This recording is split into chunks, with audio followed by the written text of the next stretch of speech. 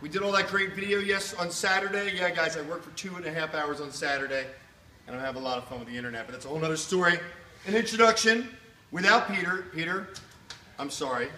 We had a dump with the computer today, and it all went out. Come here, sir. One into the shot. So here it is.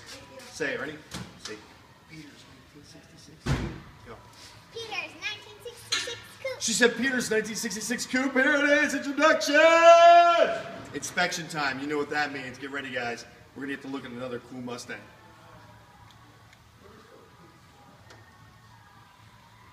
Are you done your introduction? Let me know when you're done. Are you done? She's such a ham. I don't know where she got from. Hey! Let's cut, and then I'll introduce you to Brittany, and then back to this car. Here we go. MustangMedic.com. We take the frustration out of restoration. Yes, yes, yes! Perfect! All right, here we go. She's really all pretty and chrome up top. She's got an Edelbrock chrome intake. She's got a chrome four barrel carburetor, but she is basically sucking in like this, and she's blowing out like this.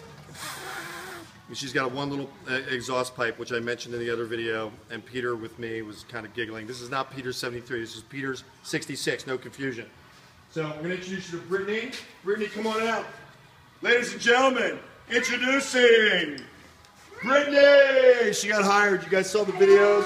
She's the first one I ever did a video up before I hired her. This is Brittany's first day. Zoom in on her. Zoom in on her. What do you want to say to the viewers, Brittany? I want to say I'm, I'm happy to be part of the uh, Mustang Medic, part to be part of the team, learn a lot of stuff, fix a lot of Mustangs, and keep it going. Boom. So she's a Be woman. of. She's a woman turning a wrench, guys. Woohoo! All right, back to back to a gorgeous '66. Let's go through the interior here, Taylor.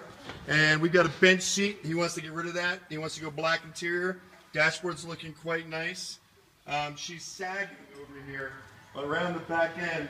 She's got a dented bumper, and she's actually sagging. If you if you look at me, if you bring it in on me, when I get in the car, it's kind of like this. So the leaf spring's kind of shot on her. Those speakers are going bye bye. The rims we discussed on video that we lost. Those are 17 inch rims. They're huge. Uh, we got this. The, they got rotating spinners on them. We're going to take those rims off, and she's going to go through a three-hour inspection, and she's going to get the compression test.